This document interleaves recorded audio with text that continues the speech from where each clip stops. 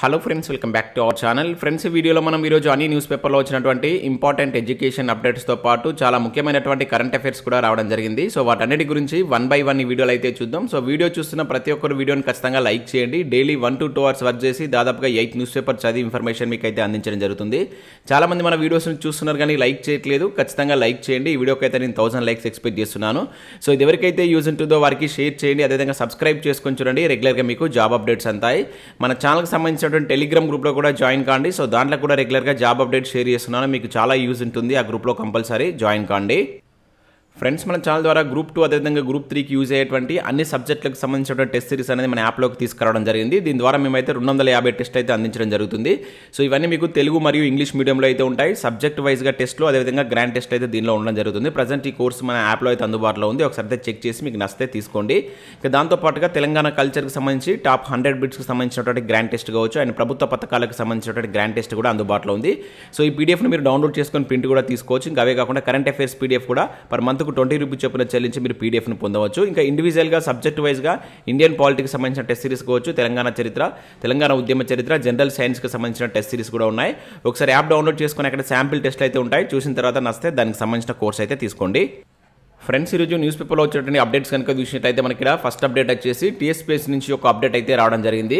So మూడు నుంచి lab technician సర్టిఫికేట్ల verification అని చెప్పేసి నమస్తే తెలంగాణలో ఒక అప్డేట్ అయితే మనం చూడవచ్చు. సో తెలంగాణ వైద్య విధాన పరిషత్లో so lab technician grade two ఉద్యోగాలకు ఆగస్టు మూడు నుంచి సర్టిఫికేట్ వెరిఫికేషన్ నిర్వహించనున్నట్లు టీఎస్పీఎస్సీ సెక్రటరీ అనితా రామచంద్రన్ అయితే తెలిపారు.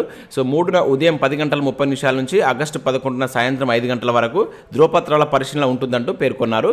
సో అభ్యర్థులు నోటిఫికేషన్లో పేర్కొన్నటువంటి అన్ని రకాల సర్టిఫికేట్లను తీసుకొని హైదరాబాద్లో ఉన్నటువంటి నాంపల్లిలో మనకు టీఎస్పీఎస్సీ కార్యాలయం ఉంది కదా దానికి రావాలని చెప్పేసి ఇక్కడ మనకు టీఎస్పీఎస్సీ అయితే ఒక ప్రకటనలో అయితే తెలియజేసింది. సో ఈ నోటిఫికేషన్కి అప్లై చేసినటువంటి అభ్యర్థులు ఏవైతే మెరిట్ లిస్ట్లో ఉన్నటువంటి అభ్యర్థులు సర్టిఫికేట్ వెరిఫికేషన్ వెళ్ళేటువంటి ప్రయత్నం అయితే చేయండి. ఇక నెక్స్ట్ విషయంలో అయితే మనకి ఇక్కడ మరొక నోటిఫికేషన్ అయితే ఎస్ఎస్సీ నుంచి రిలీజ్ కావడం జరిగింది. పదమూడు వందల నలభై రెండు జేఈ పోస్టులకు సంబంధించిన నోటిఫికేషన్ అయితే రిలీజ్ చేశారు. సో కేంద్రంలోని వివిధ శాఖల్లో ఖాళీగా ఉన్నటువంటి ఇంజనీరింగ్ పోస్టుల భర్తీకి ఈ ప్రకటన అయితే జారీ చేయడం జరిగింది మనకు స్టాఫ్ సెలక్షన్ కమిషన్ సో మొత్తం పదమూడు వందల నలభై రెండు వేకెన్సీస్ ఉన్నాయి. జూనియర్ ఇంజనీర్ ఇంజనీరింగ్ జేఈకి సంబంధించినటువంటి పోస్టులు ఇవి. సో దీనిలో మనకు సివిల్ కావచ్చు ఎలక్ట్రికల్ మెకానికల్ ఈ విభాగాల్లో అయితే మనకు ఖాళీలు ఉన్నాయి. సో దరఖాస్తు అనేది మీరు ఆన్లైన్లో చేసుకోవాల్సి ఉంటుంది. సో చివరి తేదీ వచ్చేసి మనకు ఆగస్టు పదహారున అయితే లాస్ట్ డేట్ ఇవ్వడం జరిగింది. మీరు వెబ్సైట్కి వెళ్ళినట్లయితే పూర్తి నోటిఫికేషన్ పీడిఎఫ్ అయితే ఉంటుంది. సో ఈ పీడిఎఫ్ నేను మన టెలిగ్రామ్లో కూడా షేర్ చేస్తాను. అక్కడ నుంచి మీరు డౌన్లోడ్ చేసుకొని చూడండి. సో ఇక్కడ దీనికి సంబంధించిన డేట్స్. సో ఎప్పటి నుంచి మీరు అప్లై చేసుకోవాలి లాస్ట్ డేట్ ఎప్పుడైనటువంటి కంప్లీట్ డీటెయిల్స్ ఇచ్చారు.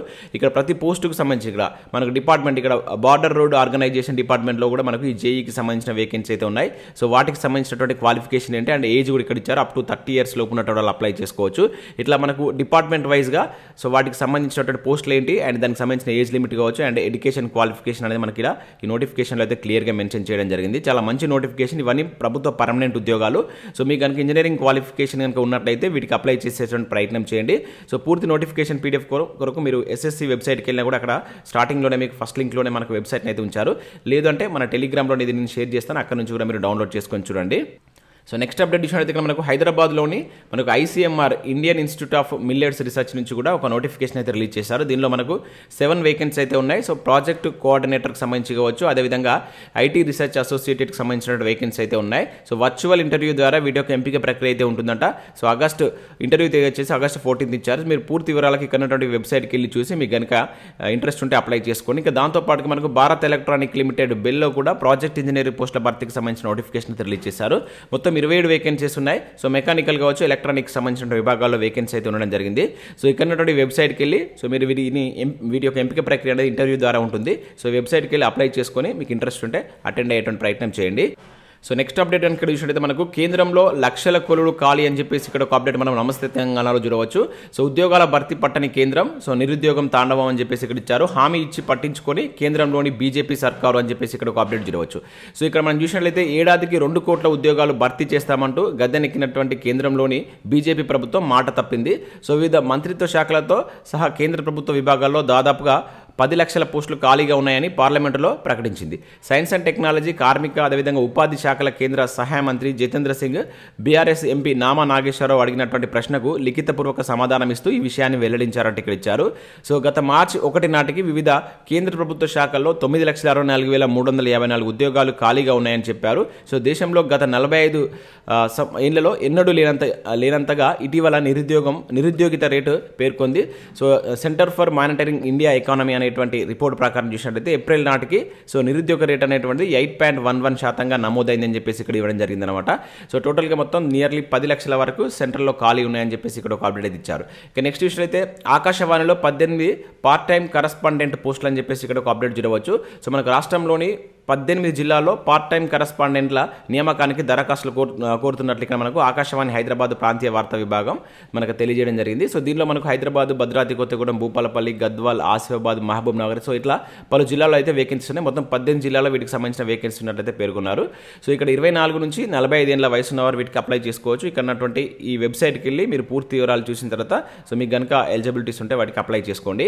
ఇక నెక్స్ట్ విషయం అయితే మనకు సచివాలయంలో సేవకుల సేవలకు ఇరవై మూడు పోస్టులు మంజూరు అని చెప్పేసి ఇక్కడ ఒక అప్డేట్ అయితే మనం చూడవచ్చు. So doctor BR Ambedkar Telangana సచివాలయంలో సేవలు అందించడానికి కొత్తగా ఇరవై మూడు పోస్టులను ప్రభుత్వం మంజూరు చేసింది. సో ఇందులో మూడు డేటా ఎంట్రీ ఆపరేటర్స్ ఇరవై భద్రతా విభాగ సిబ్బంది పోస్టులు అయితే ఉన్నాయి.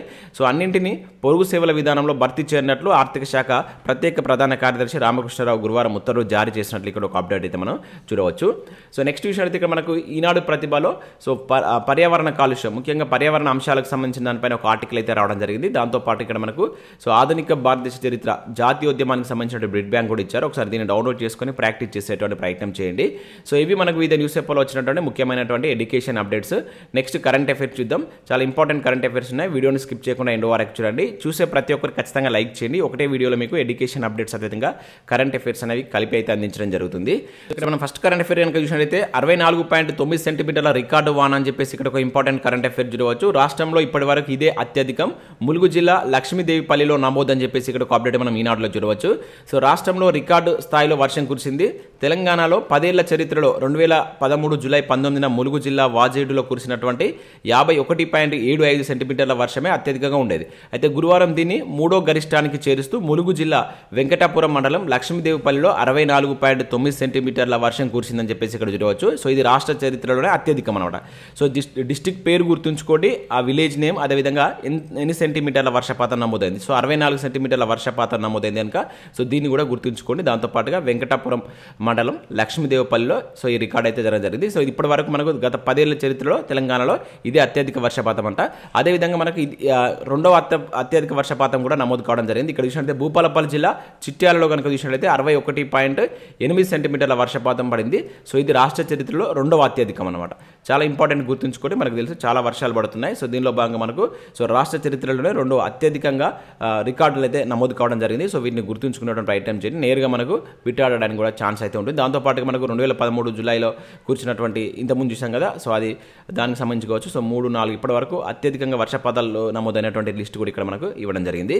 ఇక నెక్స్ట్ విషయంలో అయితే ఒకే రోజు డెబ్బై మూడు కేసుల్లో తీర్పు అంటే ఇక్కడ ఒక అప్డేట్ మనం జరగవచ్చు సో నిర్మల్ జిల్లా బైంసా పట్టణంలో మున్సిపల్ కోర్టులో న్యాయమూర్తి డి దేవేంద్ర బాబు గురువారం ఒకే రోజు డెబ్బై మూడు కేసుల్లో తీర్పునిచ్చారు. సో కరోనా కాలం నుంచి పేరుకుపోయినటువంటి వివిధ కేసులకు సంబంధించి గురువారం ఉదయం నుంచి సాయంత్రం వరకు డెబ్బై మూడు కేసులకు సంబంధించిన విచారణ పూర్తి చేసి తీర్పులు వివరించినట్లు బైంసా బార్ అసోసియేషన్ అధ్యక్షుడు బోయిడి రఘు తెలిపారు. సో ఇటీవల నిర్వహించినటువంటి లోక్ అదాలత్లో సైతం రికార్డు స్థాయిలో బైంసా కోర్టు పరిధిలో నాలుగు వందల పదహారు కేసులు పరిష్కరించారంటే ఇక్కడ చూడవచ్చు. చాలా ఇంపార్టెంట్ అండి ఇది అడగడానికి ఛాన్స్ ఉంటుంది.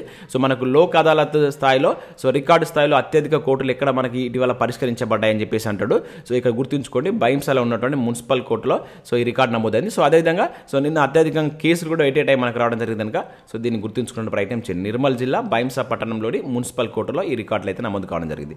ఇక నెక్స్ట్ విషయంలో అయితే ఎక్కడికైనా దూసుకెళ్ళి దూసుకెళ్ళే ఫ్లయింగ్ ఐబ్రో అని చెప్పేసి ఇక్కడ ఒక అప్డేట్ మనం చూడవచ్చు సో నేల నీరు బురద రాళ్ళలోనూ దూసుకెళ్ళేటువంటి సరికొత్త ఆల్ టైర్ అండ్ వెహి వెహికల్. దాన్నే ఐటీసీ అని చెప్పేసి పిలుస్తారు. ఎయిటీన్ వీల్స్ ఈ ఐఎన్సి అనేటువంటి ఫిన్లాండ్ కంపెనీ దీని అయితే అభివృద్ధి చేసిందంట. సో ఫ్లయింగ్ ఐబ్రోగా పిలువబడుతున్న ఇది పద్దెనిమిది చక్రాల వాహనం అని చెప్పేసి ఇక్కడ ఇచ్చారు. సో ఈ దీని యొక్క తాజా వర్షన్ను అక్టోబర్లో విడుదల చేయనున్నారు. సో బ్యాటరీతో నడిచేటువంటి ఈ వాహనం మెట్లపైన కావచ్చు నేల కూలినటువంటి చెట్లపైన కూడా ప్రయాణించగలదని తయారీదారులు వెల్లడించారు. సో దీన్ని ఎక్కడ ఎవరు తయారు చేశారు దీని యొక్క ఇంపార్టెన్స్ ఇది అక్టోబర్లో మనకు అందుబాటులోకి వస్తుందట. ఐర్లాండ్కి సంబంధించినటువంటి కంపెనీ దీన్ని తీసుకురావడం జరిగింది. ఇక నెక్స్ట్ విషయంలో అయితే మనకు పర్వతారోహ రోహణలో ప్రపంచ రికార్డ్ అని చెప్పేసి ఇక్కడ ఒక అప్డేట్ మనం చూడవచ్చు.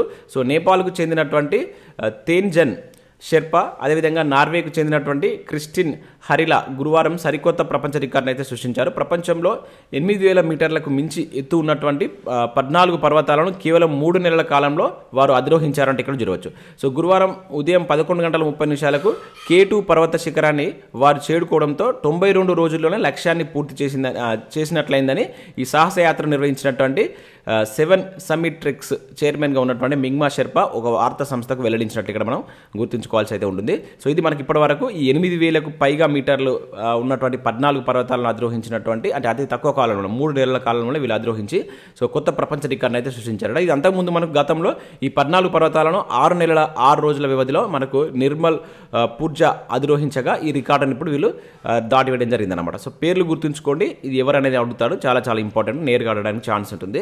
ఇక నెక్స్ట్ విషయం అయితే రెండు వేల ఇరవై నాలుగు టీ ట్వంటీ ప్రపంచ కప్కు ఐర్లాండ్ అంటే ఇక్కడ ఒక అప్డేట్ చూడవచ్చు సో వచ్చే ఏడాది వెస్టిండీస్ యుఏ యుఎస్ఏ సంయుక్తంగా అంది ఆతిథ్యం ఇచ్చేటువంటి టీ ట్వంటీ ప్రపంచ కప్కు ఐర్లాండ్ అర్హత సాధించినట్టు ఇక్కడ చూడవచ్చు. సో ఇక్కడ మనం గుర్తుంచుకోవాల్సిందంటే రెండు వేల ఇరవై నాలుగు టీ ట్వంటీ ప్రపంచ కప్ ఎక్కడ జరుగుతుందని చెప్పేసి మనకు నేరుగా అడగవచ్చు. సో ఎక్కడంటే వెస్టిండీస్ ఓకేనా? అదేవిధంగా యుఎస్ఏ సంయుక్తంగా సో ఈ టీ ట్వంటీ ప్రపంచ కప్ని అయితే నిర్వహిస్తున్నాయి. సో దీనికి సంబంధించి మనకు ఐర్లాండ్ అయితే ఇప్పుడు అర్హత సాధించడం జరిగిందనమాట సో గుర్తుంచుకోండి మనకు ప్లేస్ ఇంపార్టెంట్ అది జరిగేటువంటి వెన్యూస్ అనేది చాలా చాలా ఇంపార్టెంట్. అట్లా అడగడానికి మనకు ఎక్కువ క్వశ్చన్ అడగడానికి అయితే ఛాన్స్ ఉంటుంది. ఇక నెక్స్ట్ విషయంలో అయితే మనకు దేశవ్యాప్తంగా ఎనిమిదేళ్ళలో రూపాయలు రెండు పాయింట్ రెండు ఒక లక్షల కోట్ల టోల్ వసూలు అని చెప్పేసి ఇక్కడ చూడవచ్చు. లోక్సభలో కేంద్ర మంత్రి నితిన్ గడ్కరీ. సో ఇక్కడ మనం చూసినట్టయితే దేశవ్యాప్తంగా రెండు వేల పదిహేను పదహారు నుంచి కనుక చూసినట్టయితే ఆ రెండు వేల ఇరవై రెండు ఇరవై మూడు వరకు. సో ఈ రెండు లక్షల ఇరవై ఒక్క వెయ్యి ఐదు వందల ఎనభై ఐదు పాయింట్ నాలుగు ఆరు కోట్ల టోల్ ట్యాక్సులు వసూలైనట్టు జాతీయ రహదారుల శాఖ మంత్రి నితిన్ గడ్కరీ తెలిపారు. సో లోక్సభలో గురువారం సభ్యులు అడిగినటువంటి ప్రశ్నకు కేంద్ర మంత్రి సమాధానం ఇచ్చారు. సో జాతీయ రహదారుల మరమ్మతుకు నిర్వహణ కోసం రెండు వేల ఇరవై మూడు ఇరవై నాలుగు జూన్ ముప్పై వరకు సో తెలంగాణలో రూపాయలు నూట నాలుగు పాయింట్ ఆరు ఏడు కోట్లు కేటాయించామని సో రూపాయలు వన్ పాయింట్ ఫైవ్ త్రీ కోట్లు ఖర్చు పెట్టినట్లు వెల్లడించినట్లు ఇక్కడ ఒక అప్డేట్ తిరగచ్చు సో మనకు లోక్సభ అండ్ రాజ్యసభ సమావేశాలు జరుగుతున్నాయి కనుక ఇక్కడ వాళ్ళు ఇచ్చేటువంటి డేటా అనేది అఫీషియల్ డేటా సో మనకు ఎగ్జామినేషన్ పాయింట్ ఆఫ్ వ్యూ అడగడానికి ఛాన్స్ ఉంటుంది. వీటిని గుర్తుంచుకునే ప్రయత్నం చేయండి. సో ఇవి మనకు వివిధ న్యూస్ పేపర్లో వచ్చినటువంటి ముఖ్యమైన ఎడ్యుకేషన్ అప్డేట్స్ అదేవిధంగా కరెంట్ అఫేర్స్ సో వీడియో నచ్చినట్లయితే లైక్ చేసి మీ మిత్రులకైతే షేర్ చేయండి. అదేవిధంగా మన యాప్ను డౌన్లోడ్ చేసుకోండి దానిలో మీకు గ్రూప్ టూ గ్రూప్ త్రీకి సంబంధించినటువంటి ఫుల్ టెస్ట్ uh, సిరీస్ అయితే అందుబాటులో ఉంది. దాంతోపాటుగా ఇండివిజువల్గా సబ్జెక్ట్ వైజ్ టెస్ట్ సిరీస్ కూడా ఉన్నాయి. ఒకసారి యాప్ డౌన్లోడ్ చేసుకొని చెక్ చేయండి. నచ్చినట్లయితే దానికి సంబంధించిన కోర్స్ అయితే తీసుకోండి. Thanks for watching thank you